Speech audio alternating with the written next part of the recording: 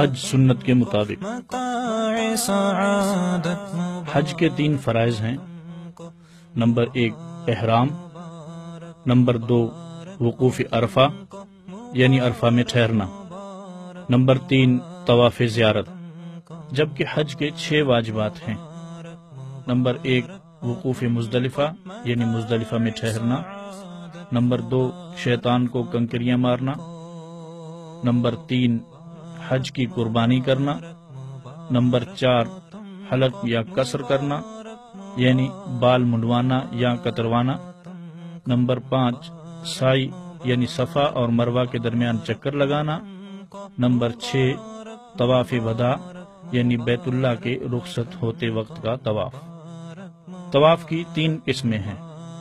Number ایک، طواف قدوم یعنی آمد کا طواف۔ یہ سنت ہے۔ نمبر دو، طواف زیارت، مرکزی طواف، یہ فرض ہے۔ نمبر تین، طواف ودا یعنی واپسی کا طواف، یہ واجب ہے۔ حج کی تیاری اور اہم امور کی نشاندہی۔ سب سے پہلا کام، اگر آپ پر حج فرض ہے اور آپ نے اسے ادا کرنے کا ارادہ کر لیا ہے تو اللہ تعالی کی اس نعمت عظما کی قدر کو محسوس کیجیے اور شکر ادا کیجیے اور حج کے اعمال اور اس کا طریقہ سیکھنے میں مشغول ہو جائیے۔ حج پر جانے کے لیے اچھا رفیق سفر تلاش کیجیے جو حج کے مسائل جانتا ہو اور سالے بھی ہو۔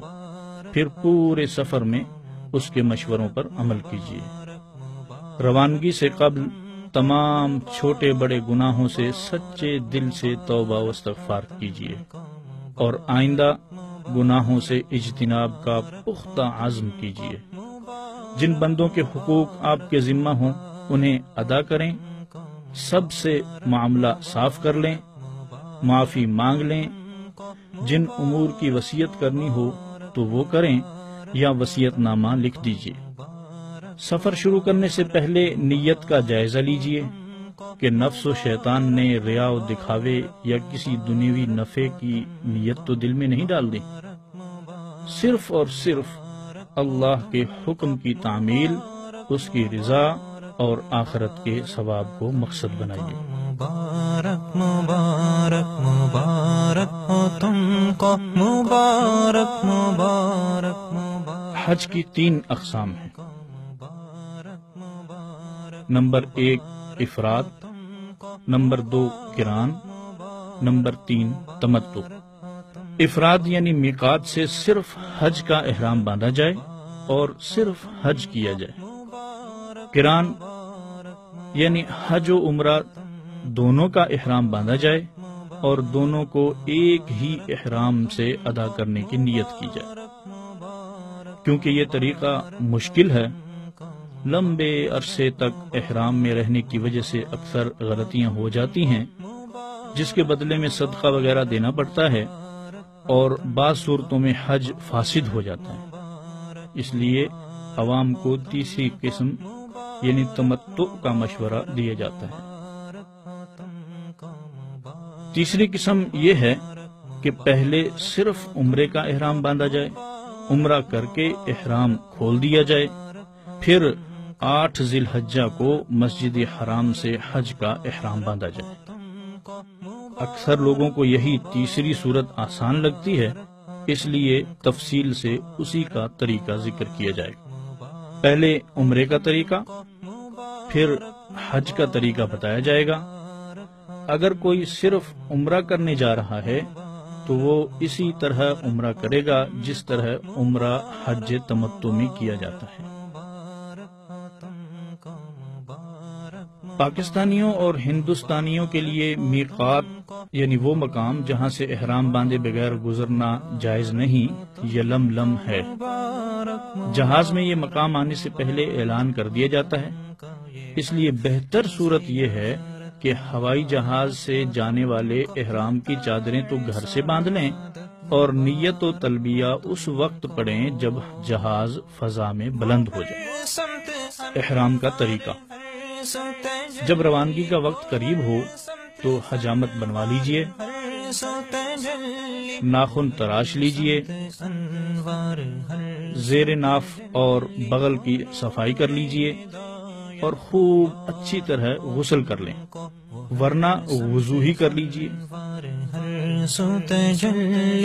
نور ہدایت مبارک اور سلے ہوئے کپڑے اتار کر ایک چادر باندھ لیجیے۔ مبارک ہو تم کو متاع سعادت مبارک ہو تم کو مبارک مبارک مبارک ہو تم کو متاع سعادت مبارک ہو تم کو۔ وہ حرم میں مست اور دوسری چادر اوڑھ رہنا۔ وہ حرم میں مست و سرشار رہنا۔ وہ حرم میں اور اگر مکرو وقت نہ ہو تو اسی حالت میں دو رکعت نفل پڑھ لیں۔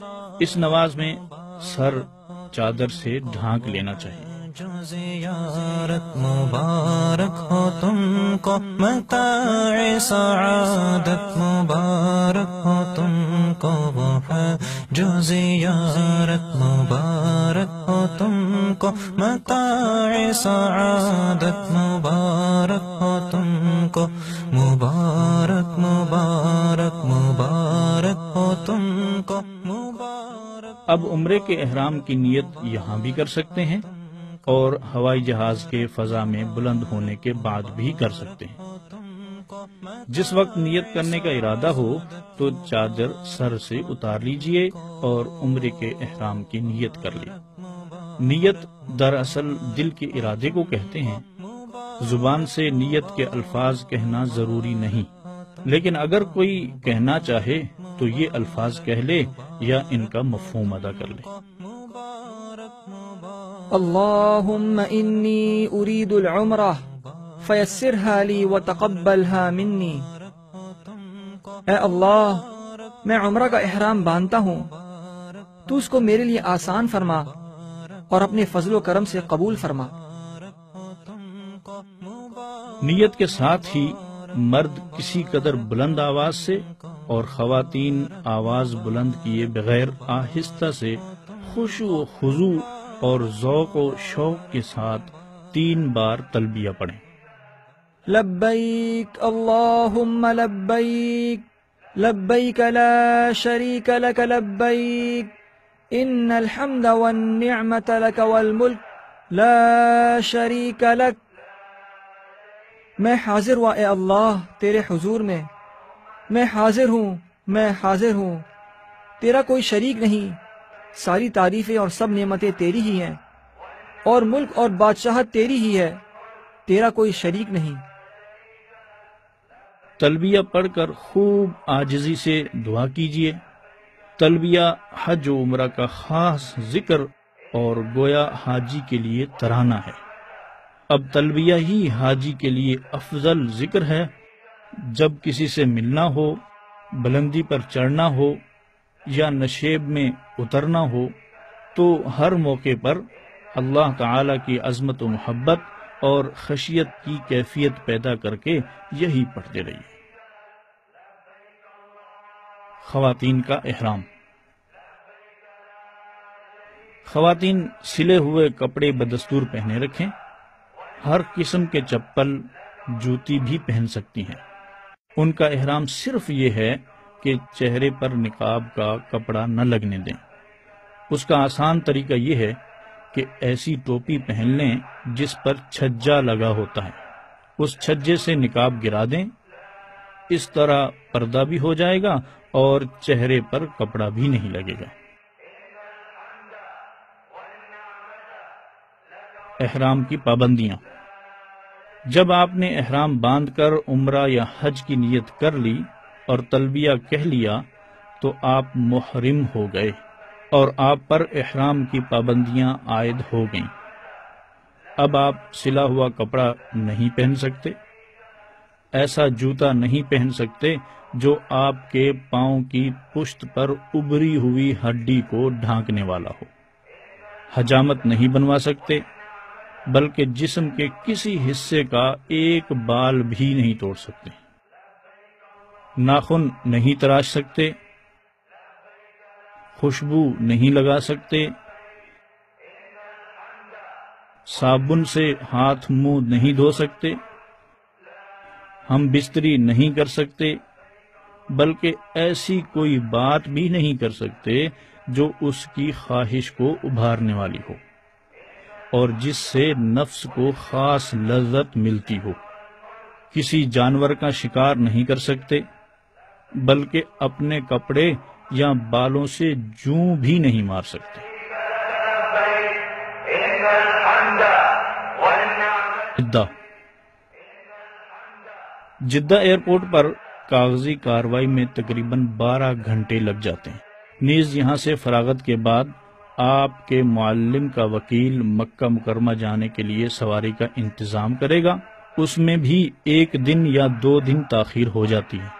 اس لیے صبر و تحمل سے کام لیجیے اور ذکر و عبادت میں مشغول رہیے۔ حدود حرم۔ مرکز جدہ سے مسجد حرام تک کل فاصلہ اسی کلومیٹر ہے، جبکہ حدود حرم کی ابتدا سے مسجد الحرام تک فاصلہ تیئیس کلومیٹر ہے۔ حدود حرم سے تقریباً دو کلومیٹر پہلے ایک چیک پوسٹ آتی ہے۔ یہاں سے ایک سڑک الگ ہوتی ہے جو غیر مسلموں کے لیے مختص ہے۔ اس پر ایک بورڈ لگا ہے جس پر لغیر المسلمین لکھا ہوا ہے۔ اس سے تقریباً دو کلومیٹر بعد حدود حرم شروع ہو جاتی ہیں۔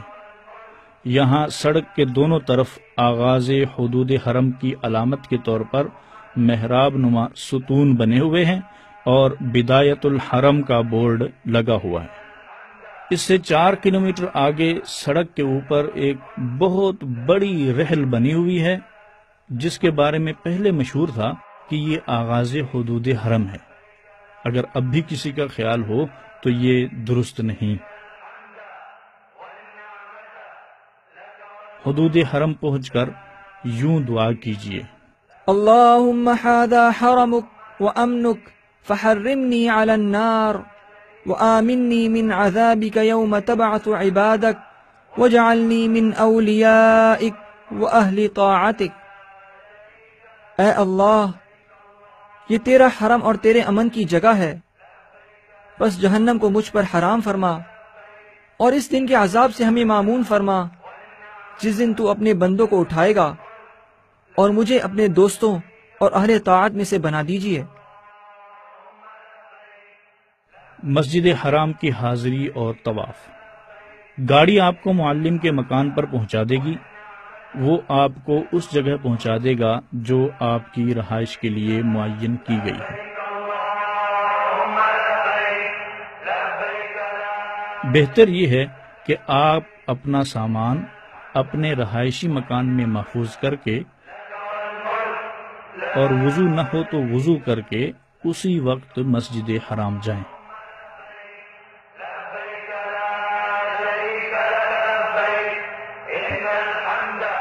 باب السلام سے داخل ہونا مستحب ہے۔ داخلے کے وقت یہ دعا پڑھیں۔ بسم اللہ والصلاة والسلام علی رسول اللہ۔ پھر پورے ادب کے ساتھ دایاں پاؤں اندر رکھیں اور یہ دعا کریں۔ رب اغفر لی ذنوبی وافتح لی ابواب رحمتک۔ اعتکاف کی نیت کر لیجیے۔ اور دوسرے کو ایزا پہنچانے سے اجتناب کرتے ہوئے آگے بڑھیں۔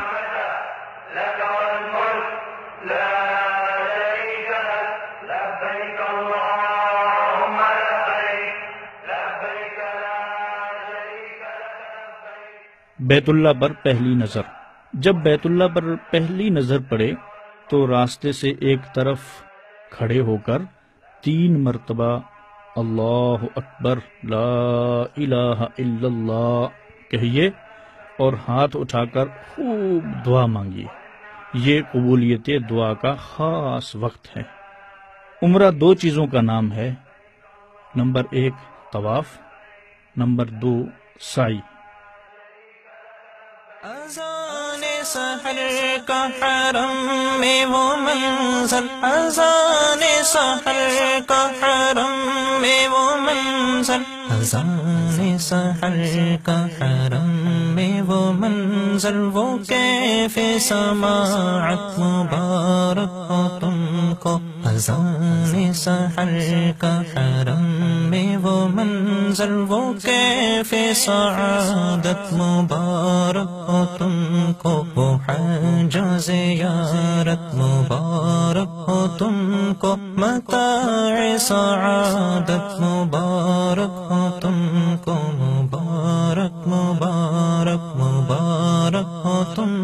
مبارک مبارک مبارک ہو تم کو مبارک مبارک مبارک ہو تم کو متاع طواف کی تیاری۔ مسجد حرام میں داخل ہو کر پہلے تحیت المسجد نہیں پڑھنا چاہیے، بلکہ طواف کرنا چاہیے۔ مسجد حرام کا تحیہ طواف ہی ہے، لہذا دعا سے فارغ ہو کر آپ طواف کی تیاری کر لیں وضو نہ ہو تو وضو کر لیں۔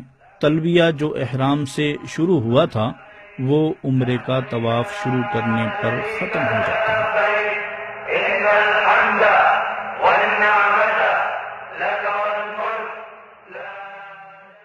اس لیے طواف میں اور اس کے بعد حج کا احرام باندھنے تک آپ تلبیہ نہیں پڑیں گے۔ اب خانہ کعبہ کے سامنے اس طرح کھڑے ہوں کہ پورا حجر اسود آپ کے دائیں طرف رہ جائے۔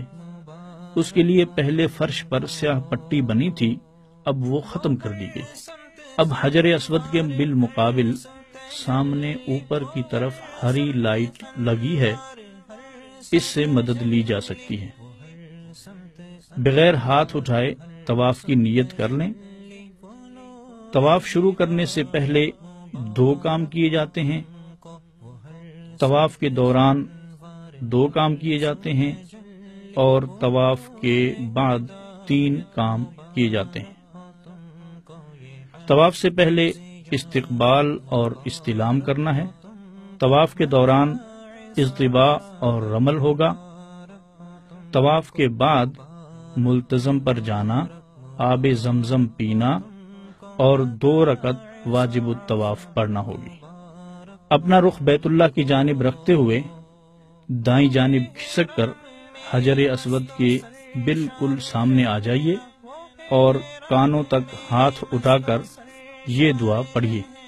بسم الله الله أكبر لا إله إلا الله ولله الحمد۔ مبارک اس عمل کو استقبال کہتے ہیں۔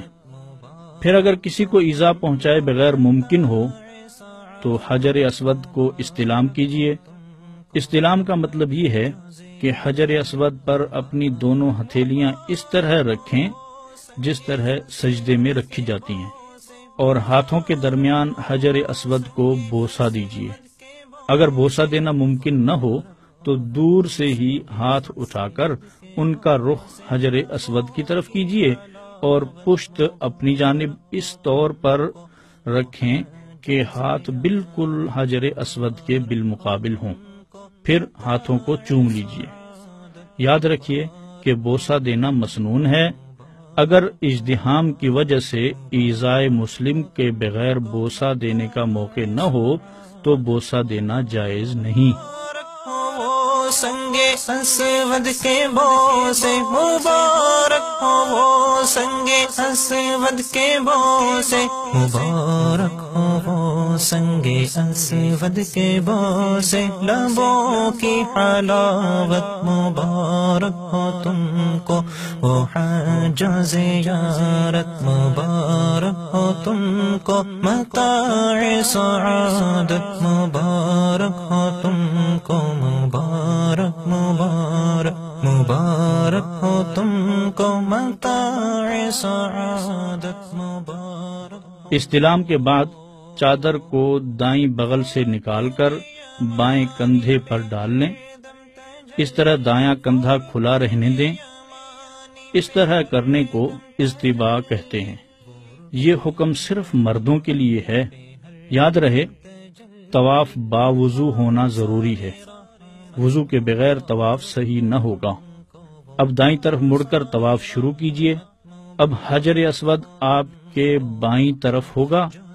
حجر اسود کے استلام یا اشارہ استلام کے سوا دوران طواف خانہ کعبہ کی طرف سینہ یا پشت کرنا جائز نہیں۔ اس کا خصوصی خیال رکھیں۔ طواف کے کل سات چکر ہوتے ہیں۔ حجر اسود کے بالمقابل ہری لائٹ سے شروع کر کے دوبارہ جب اس لائٹ پر پہنچیں گے تو ایک چکر ہوگا۔ جس طواف کے بعد سائی ہو اس کے پہلے تین چکروں میں رمل کیا جاتا ہے۔ رمل کا مطلب ہے کہ اکڑ کر شانے ہلاتے ہوئے قریب قریب قدم رکھ کر پہلوانوں کی طرح ذرا تیزی سے چلے۔ باقی چار چکروں میں عام رفتار سے چلیے۔ عمرہ کے طواف کے بعد کیونکہ سائی بھی ہے، اس لیے اس میں رمل کیجیے یہ حکم مردوں کے لیے ہے۔ خواتین رمل نہ کریں۔ بلکہ عام رفتار سے چلیں۔ رکن یمانی۔ طواف کرتے ہوئے جب رکن یمانی یعنی بیت اللہ کا وہ کونا جو طواف کے دوران حجر اسود سے پہلے آتا ہے، اس پر پہنچیں تو اگر دوسروں کو تکلیف پہنچائے بغیر ممکن ہو، تو اس پر دونوں ہاتھ یا صرف دایاں ہاتھ لگائیں۔ صرف بایاں ہاتھ نہ لگائیں اور آگے بڑھ جائیں۔ رکن یمانی کو ہاتھ لگا کر چومنا ثابت نہیں۔ اس سے اجتناب کریں۔ بہت سے لوگ رکن یمانی کا حجر اسود کی طرح استلام کرتے ہیں۔ یہ طریقہ بالکل غلط ہے اور قابل ترک ہے۔ رکن یمانی سے حجر اسود کے درمیان یہ دعا مسنون ہے۔ ربنا آتنا في الدنيا حسنة وفي الآخرة حسنة۔ وقنا عذاب النار۔ ہر چکر کے اختتام پر جب آپ حجر اسود پر پہنچیں تو اپنے آپ کو اور دوسروں کو ایزا دیے بغیر ممکن ہو تو حجر اسود کا استلام کیجیے ممکن نہ ہو تو دور سے اشارہ کر کے ہاتھ چوم لیں۔ اس طرح طواف میں کل آٹھ مرتبہ حجر اسود کا استلام یا اشارہ ہوگا۔ یہاں یہ بات یاد رکھیں کہ طواف کے شروع میں کانوں تک ہاتھ اٹھائے جاتے ہیں۔ بعض لوگ ہر چکر میں حجر اسود پر پہنچ کر ہاتھ اٹھاتے ہیں۔ یہ جہالت ہے۔ اس سے اجتناب ضروری ہے۔ دوسری بات یہ کہ طواف کے دوران کوئی مخصوص دعا قطعا ضروری نہیں۔ جو دعا یاد ہو مانگتے رہیں۔ یا صرف سبحان اللہ والحمد للہ ولا الہ الا اللہ واللہ اکبر۔ ولا حول ولا قوت الا باللہ کہتے رہیں۔ یہ دعا مسنون ہے یا کوئی بھی ذکر کرتے رہیں۔ اگر کوئی بالکل خاموش رہے تو یہ بھی جائز ہے۔ معلمین جو اجتماعی طور پر دعا پڑھاتے ہیں اور حاجی غلط سلط پڑھتے ہیں یا دعا کے کتابچوں میں سے دیکھ کر جیسے تیسے پڑھتے رہتے ہیں، یہ طریقہ غلط ہے۔ طواف پورا کرنے کے بعد استباع ختم کر دیجیے۔ یعنی دونوں کندھے ڈھانپ دیجیے۔ اب مقام ابراہیم یعنی وہ پتھر جس پر کھڑے ہو کر حضرت ابراہیم علیہ سلاۃ والسلام نے خانہ کعبہ کی تعمیر کی تھی، اس کے پیچھے قریب ترین جگہ جہاں اطمینان سے نماز پڑھ سکیں، دو رکت واجب الطواف ادا کیجیے اور دعا کیجیے اگر رش کی وجہ سے جگہ نہ ملے، تو مسجد حرام میں کسی بھی جگہ دو رکت پڑھ سکتے ہیں۔ خیال رہے کہ یہ مکرو وقت نہ ہو۔ طواف سے فارغ ہو کر دو رکعت سے پہلے یا بعد میں اگر بسہولت بغیر کسی کو ایزا پہنچائے ممکن ہو، تو ملتظم یعنی بیت اللہ کی دیوار کا وہ حصہ جو حجر اسود اور بیت اللہ کے دروازے کے درمیان ہے، وہاں پر آئیں اور خوب گڑ گڑا کر دعا کریں۔ یہ قبولیت دعا کا خاص مقام ہے۔ ملتظم پر دعا کرنے کے بعد حرم میں جگہ جگہ رکھے ہوئے کولروں سے بیٹھ کر زمزم پیئیں۔ اگر ہجوم کی وجہ سے بیٹھ نہ سکیں تو کھڑے ہو کر بسم اللہ پڑھ کر تین سانس میں خوب جی بھر کر زمزم پیجیے اور یہ دعا پڑھیں۔ اللهم إني أسألك علما نافعا ورزقا واسعا وشفاء من كل داء۔ سائی۔ طواف عمرہ کا پہلا عمل تھا جو آپ کر چکے۔ اب دوسرا عمل صفا و مروہ کے درمیان سات چکر لگانے کا ہے، جسے سائی کہتے ہیں۔ اگر وضو کی ضرورت ہے تو وضو کر لیجیے۔ سائی با وضو سنت ہے۔ پھر حجر اسود کے سامنے آ کر استلام یا اشارہ استلام کیجیے۔ یہ آپ کا نواں استلام ہوگا۔ اس کے بعد مسجد حرام سے باب الصفا سے باہر نکلیے۔ یہ مستحب ہے۔ کسی اور دروازے سے بھی نکل سکتے ہیں۔ صفا میں اتنے اوپر چڑھیے کہ بیت اللہ نظر آ سکے۔ اگر ہجوم یا ستون کی وجہ سے بیت اللہ نظر نہ آ سکے تو کوئی حرج نہیں۔ اب قبلہ رخ کھڑے ہو کر سائی کی نیت کریں۔ پھر اللہ کی حمد و ثنا کے بعد خوب دعا کریں۔ دعا کے بعد صفا سے اتر کر مروہ کی طرف چلیں۔ جب سبز ستونوں کے قریب پہنچے تو مرد حضرات درمیانی رفتار سے دوسری طرف کے سبز ستونوں تک ہلکا ہلکا دوڑیں۔ خواتین اپنی اصلی حالت پر چلتی رہیں۔ مروہ پر پہنچ کر قبلہ رخ ہو کر پھر دعا کیجیے یہاں سے آپ کو بیت اللہ نظر نہیں آئے گا۔ یہ ایک چکر مکمل ہو گیا۔ پھر مروہ سے صفا کی طرف چلیے۔ اور سبز ستونوں کے درمیان مرد ہلکی دوڑ لگائیں، جبکہ خواتین معمول کے مطابق چلیں۔ جب صفا پر پہنچیں گے تو یہ دوسرا چکر مکمل ہوگا۔ اسی طرح تیسرا چکر مروا پر، چوتھا چکر صفا پر، پانچواں چکر مروا پر، چھٹا چکر صفا پر، ساتواں چکر مروا پر ختم ہوگا۔ ہر چکر میں مرد سب ستونوں کے درمیان ہلکا ہلکا دوڑیں گے اور خواتین معمول کے مطابق چلیں گی۔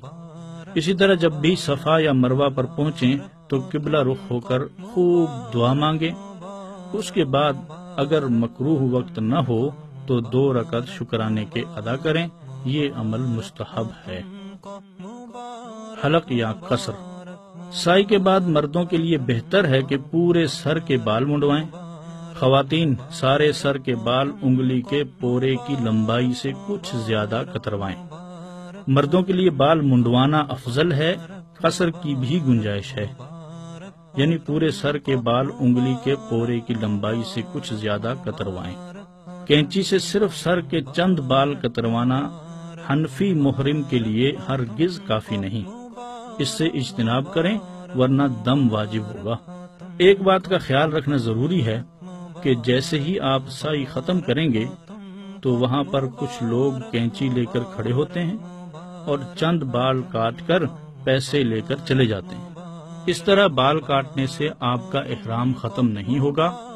لہذا کسی حلاق سے سارا سر منڈوائیں یا پھر قصر پوری کروائیں۔ حلق یا قصر کے بعد عمرہ مکمل ہو گیا۔ احرام کی پابندیاں ختم ہو گئیں۔ اب غسل کریں۔ کپڑے پہنے اور گھر کی طرح رہیں۔ دل و جان سے اللہ کا شکر کریں کہ اس نے عمرے کی سعادت دی اور بقیہ ایام اس کی رضا کے مطابق گزارے۔ جو حضرات حج کرنے آئے ہیں، وہ مکہ میں قیام کریں گے اور آٹھ ذی الحجہ کو مکہ سے ہی حج کا احرام باندھیں گے۔ لہذا جو وقت بچے، اس میں ذکر و تلاوت اور نوافل ادا کریں۔ یہ بات مد نظر رکھیے کہ نفلی طواف میں جو عمرہ کے بغیر کیا جائے، اس میں اجتباع و رمل نہ ہوگا، نہ اس کے بعد صفا و مروا کی سائی ہوگی۔ البتہ طواف کے سات چکروں کے بعد دو رکعت واجب الطواف ضروری ہے۔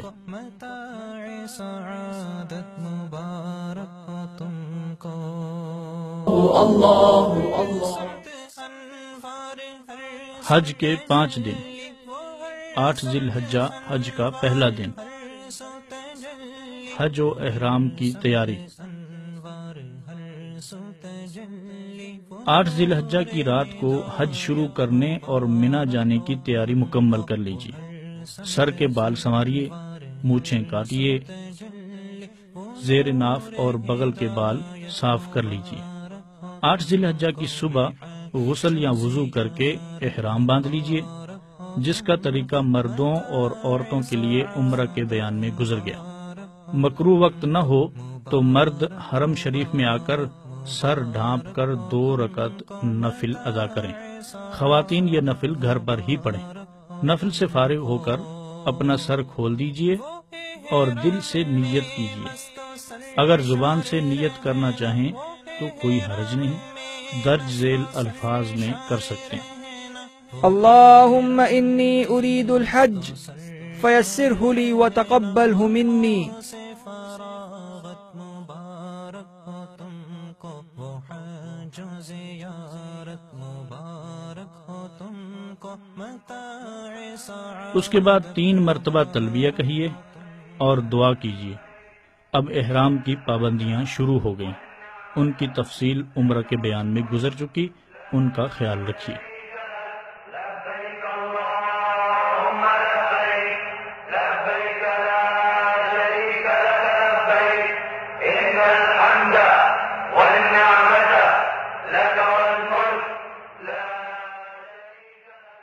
لبيك روانگی۔ احرام بن چکا اب آپ چار پانچ دن کا ضروری سامان ساتھ لیجیے اور مینا روانہ ہو جائیے۔ مینا جانے کے لیے معلم کی طرف سے گاڑیوں کا انتظام بھی ہوتا ہے۔ مگر عموماً ہجوم کی وجہ سے گاڑیوں پر جانے میں وقت بہت صرف ہوتا ہے اور گاڑیوں پر بیٹھے بیٹھے لوگ تنگ ہو جاتے ہیں۔ مینا مکہ سے تقریباً تین میل کے فاصلے پر ہے۔ پیدل جانا بھی کچھ مشکل نہیں۔ اگر ہمت ہو تو بہتر یہی ہے کہ پیدل جائیں۔ راستہ بھر زیادہ سے زیادہ تلبیہ اور ذکر جاری رکھیے۔ مینا میں۔ آٹھ ذی الحجہ کا دن اور آنے والی رات یہاں گزارنا ہی بس ایک عمل ہے۔ نمازوں کے وقت نمازیں باجماعت پڑھنے کا اہتمام کیجیے دعائیں کیجیے حج کے مسائل کی کتاب سنتے اور سناتے رہیے، علماء سے سیکھنے کا اہتمام کیجیے اور دوسروں کو بھی اعمال خیر کی ترغیب دیجیے۔ نو ذی الحجہ کی فجر سے تیرہ ذی الحجہ کی اثر تک ہر نماز کے بعد ایک مرتبہ تکبیر تشریق کہنا واجب ہے۔ مرد با آواز بلند اور خواتین آہستہ کہنے کا اہتمام کریں۔ تکبیر تشریق یہ ہے الله أكبر الله أكبر لا إله إلا الله والله أكبر الله أكبر ولله الحمد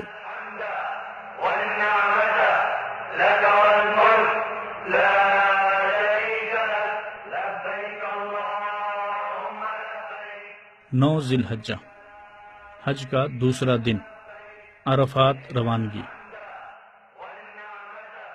نو ذی الحجہ کو طلوع آفتاب کے بعد عرفات روانہ ہو جائیے۔ عرفات منا سے تقریباً چھ میل دور ہے۔ اللہ تعالیٰ کے بہت سے بندے یہ فاصلہ پیدل طے کرتے ہیں۔ اگر آپ اس کی ہمت کر سکیں تو بہت بہتر۔ اور اگر ہمت نہ ہو اور اندیشہ ہو کہ تکان کی وجہ سے ذکر و عبادت میں نشاط اور خوش دلی نہ رہے گی تو بہتر ہے کہ سواری پر جائیں۔ راستے میں تلبیہ اہتمام سے پڑھتے جائیں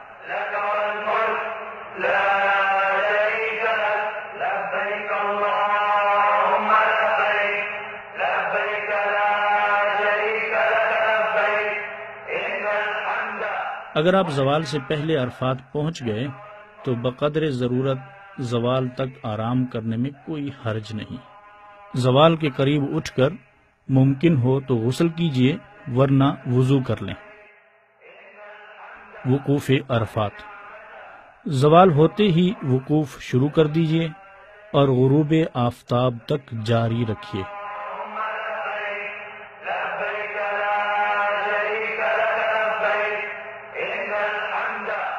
حدود عرفات کا خیال رکھیے مسجد نمرہ کا کچھ حصہ حدود عرفات میں داخل نہیں۔ ناواقف لوگوں کو بعض اوقات غلط فہمی ہوتی ہے۔ اور وہ اس حصے میں وقوف کرتے ہیں۔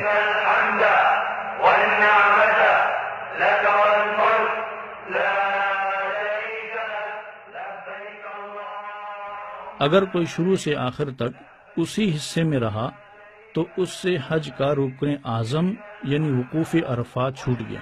اور اگر غروب سے پہلے حدود عرفات سے باہر نکل آیا، تو دم لازم ہوگا۔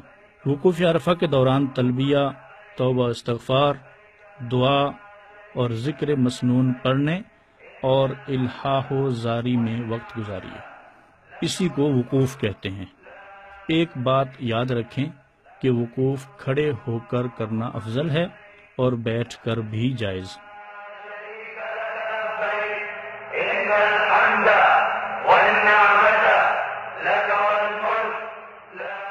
ظہر و عصر کی نماز۔ عرفات کی مسجد نمرہ میں ظہر و عصر کی نماز، ظہر کے وقت میں ایک ساتھ با جماعت ادا کی جاتی ہے۔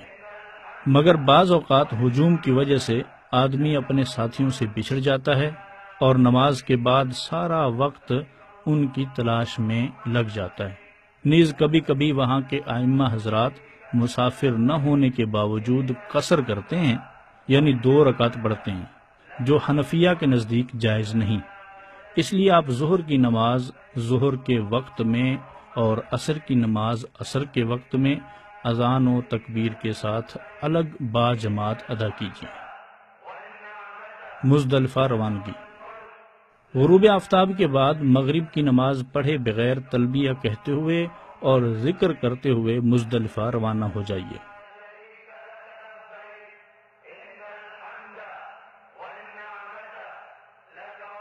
اگر غروب آفتاب سے پہلے چلا جائے گا تو دم دینا پڑے گا۔ نماز مغرب و عشاء۔ مزدلفہ میں مغرب و عشاء کی نماز ملا کر عشاء کے وقت میں ادا کیجیے دونوں نمازوں کے لیے صرف ایک اذان اور ایک اقامت کہیے۔ پہلے مغرب کے فرض باجمات ادا کیجیے پھر تکبیر تشریق اور تلبیہ پڑھیے اور اس کے فوراً بعد عشاء کے فرض ادا کیجیے پھر مغرب کی دو سنتیں، پھر عشاء کی دو سنتیں اور وطر پڑھیے۔ نفل پڑھنے کا اختیار ہے۔ اگر کوئی مزدلفہ پہنچنے سے پہلے راستے ہی میں مغرب کی نماز پڑھ لے، تو اس کی نماز نہ ہوگی۔ مزدلفہ پہنچ کر اس کا دہرانا واجب ہوگا۔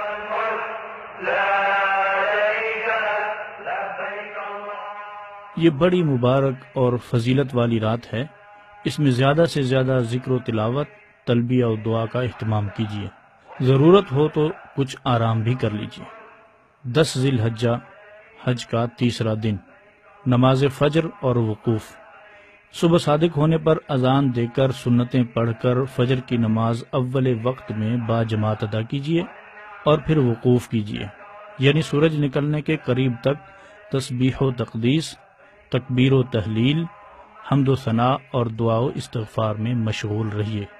مستحب یہ ہے کہ رمی کے لیے یہاں سے ستر سے کچھ زیادہ کنکریاں اٹھا لیجیے منا واپسی۔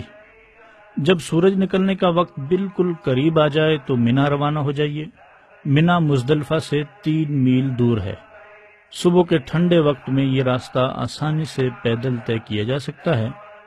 شوق و محبت اور عظمت و حیبت کی کیفیت کے ساتھ تلبیہ پڑھتے جائیے۔ راستے میں ایک نشیبی جگہ وادی محسر آئے گی۔ یہاں ابرہا کا لشکر ہلاک ہوا تھا۔ یہاں سر جھکائیے اور اللہ تعالی کی عظمت و قدرت کا استحضار کیجیے اور عذاب الہی سے ڈرتے ہوئے تیزی سے نکل جائیے۔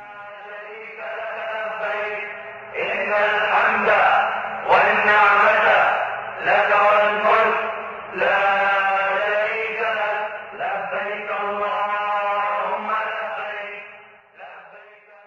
جمرہ اقبا یعنی بڑے شیطان کی رمی۔ منا پہنچ کر سب سے پہلے جمرہ اقبا کی رمی کیجیے تلبیہ، جو آپ نے آٹھ ذی الحجہ کو شروع کیا اور اب تک برابر پڑھتے رہے، آج جمرہ اقبا کی رمی کی ابتدا کرتے ہی اس کا سلسلہ ختم ہو جاتا ہے۔ اب تلبیہ بند کر دیجیے اور دوسرے اذکار سے زبان کو تر رکھیے۔ آج یعنی دس ذی الحجہ کو صرف اسی ایک ہی جمرے کی رمی کی جاتی ہے، جو زوال سے پہلے کرنا افضل ہے۔ رش ہونے کی بنا پر زوال کے بعد حتیٰ کہ رات میں بھی کی جا سکتی ہے۔ سات کنکریاں ہاتھ میں لے کر جائیے اور ستون سے کچھ فاصلے پر کھڑے ہو کر دائیں ہاتھ میں شہادت کی انگلی سے پکڑ کر ایک ایک کنکری ستون کے نچلے حصے پر مارتے جائیے۔ کنکری کا ستون کے گرد قائم احاطے میں گرنا کافی ہے۔ ستون کو لگنا ضروری نہیں۔ ہر کنکری پر بسم اللہ اللہ اکبر کہیے۔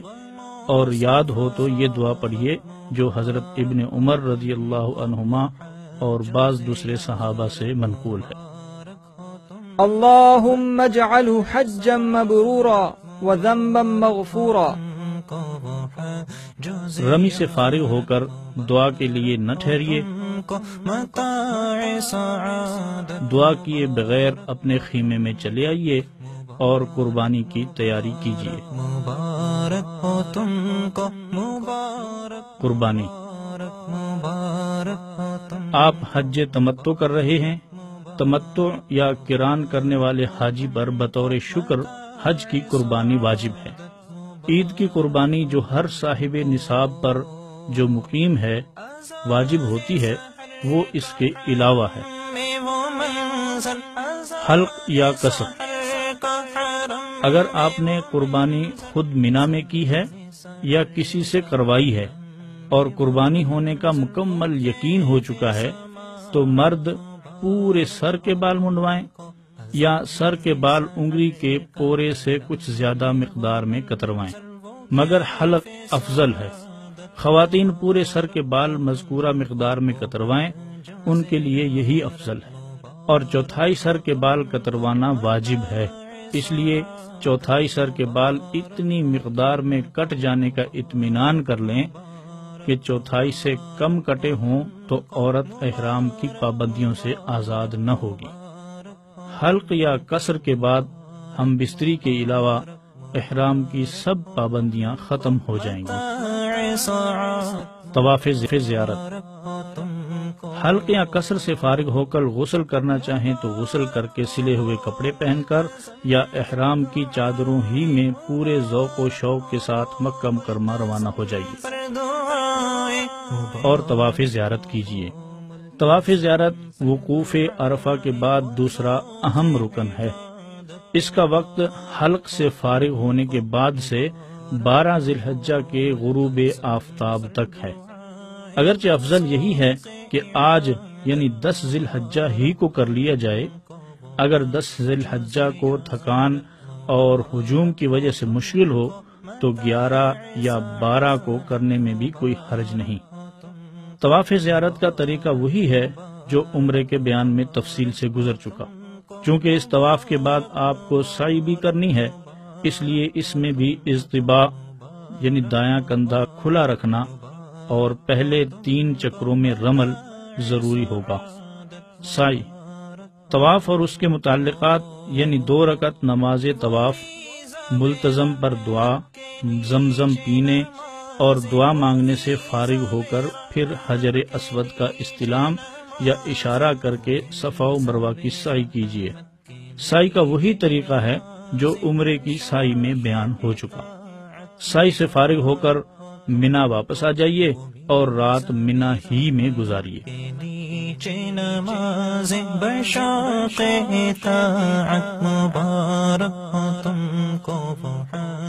گیارہ ذی الحجہ حج کا چوتھا دن۔ جمرات کی رمی۔ گیارہ ذی الحجہ کو زوال کے بعد تینوں جمرات، پہلے جمرہ اولا، پھر جمرہ وسطی، اور اس کے بعد جمرہ اقبا پر سات سات کنکریاں ماریے۔ جمرہ اولا اور جمرہ وسطی کی رمی سے فارغ ہو کر، ذرا آگے بڑھ کر ایک طرف ہو کر، قبلہ روح کھڑے ہو کر خوب خوب دعا مانگیے۔ اس موقع پر قبولیت دعا کی خاص امید ہے۔ مگر جمرہ اقبا پر رمی کے بعد دعا نہیں ہے۔ یہ رمی زوال کے بعد غروب آفتاب سے پہلے سنت ہے، مگر ہجوم کی وجہ سے بوڑھوں، بیماروں اور خواتین کو شدید مشقت کا اندیشہ ہو تو غروب آفتاب کے بعد بھی بلا کراہت جائز ہے۔ بلکہ اس خطرے سے نوجوانوں کے لیے بھی تاخیر کرنے میں کوئی کراہت نہیں۔ بارہ ذی الحجہ حج کا پانچواں دن۔ جمرات کی رمی۔ زوال کے بعد غروب آفتاب سے پہلے تینوں جمرات پر سات سات کنکریاں ماریے۔ اس میں وہی تفصیل پیش نظر رکھیے جو اوپر گیارہ ذی الحجہ کے بیان میں گزر گئی۔ قیام کا اختیار اور رمی۔ بارہ ذی الحجہ کی رمی کے بعد آپ کو اختیار ہے خواہ منا میں قیام کریں یا مکہ مکرمہ واپس آ جائیں۔ اگرچہ افضل یہی ہے کہ قیام کریں اور تیرہ ذی الحجہ کی رمی کر کے مکہ مکرمہ واپس آئیں۔ لیکن اگر آپ کو تیرہ ذی الحجہ کی صبح منا ہی میں ہو گئی تو یہ رمی بھی واجب ہو جائے گی۔ زوال کے بعد تینوں جمرات کی رمی کر کے واپس آنا ہوگا۔ مکہ معظمہ کا قیام۔ حج سے فارغ ہو کر اگر کچھ روز مکہ مکرمہ میں قیام کا موقع مل جائے تو اسے بہت بڑی غنیمت جانیے اور اس کی قدر کیجیے۔ دن رات جس قدر ہو سکے نفلی طواف کیجیے۔ اپنے والدین کی طرف سے، اپنے اساتذہ اور خاص محبین اور محسنین کی طرف سے نفلی طواف کریں۔ وہ پی طواف وداع اللہ تعالی کا شکر ادا کیجیے کہ اس نے آپ کا حج مکمل کرا دیا۔ اب حج کے اعمال میں سے کوئی عمل باقی نہیں رہا۔ بس اتنا عمل باقی ہے کہ جب مکہ معظمہ سے رخصت ہونے لگیں تو ایک رخصتی طواف کر کے جائیں۔ اسے طواف وداع کہتے ہیں۔ اور یہ بیرونی حاجیوں کے لیے واجب ہے۔ اس کا طریقہ عام نفل طواف کی طرح ہے۔ نہ اس میں اجتباع و رمل ہے اور نہ اس کے بعد سائی۔ طواف سے فارغ ہو کر جی بھر کر زمزم پیجیے پھر ملتظم پر آئیے اور کسی کو تکلیف پہنچائے بغیر موقع ہو تو وداع اور رخصت ہی کی نیت سے اس سے لپٹ لپٹ کر خوب روئیے۔ آہو زاری کیجیے اپنے رب سے حج کی مقبولیت مانگیے مغفرت مانگیے اللہ کی رضا مانگیے اپنے لیے، اپنے والدین، اساتذہ مشائق اور پوری امت کے لیے مانگیے بلک بلک کر مانگیے مسجد حرام و بیت اللہ کے آداب اور حقوق کے بارے میں جو کوتاہیاں ہوئی ہیں ان کی معافی مانگیے اور سنت کے مطابق مسجد حرام سے نکلیں۔ ہو وہ ملتزم پر دعائیں مبارک ہو وہ ملتزم پر دعائیں۔ مبارک ہو پر دعائیں وہ ذوق عبادت مبارک ہو تم کو، مبارک ہو وہ ملتزم پر دعائیں وہ ذوق عبادت مبارک ہو تم کو، وہ جو زیارت مبارک ہو تم کو، متاع سعادت مبارک ہو